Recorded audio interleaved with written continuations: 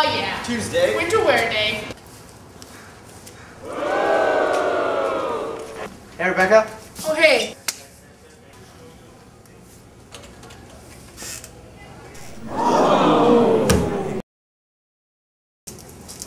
Thursday. Door decorating. Aw, yeah.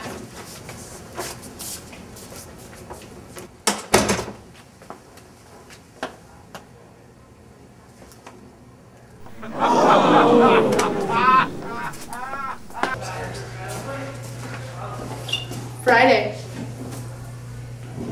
Santa Hat Day.